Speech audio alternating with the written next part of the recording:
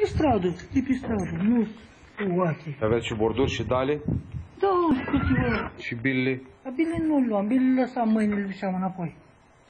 În plus, bărbatul avea și multe bare din metal pentru care nu avea acte.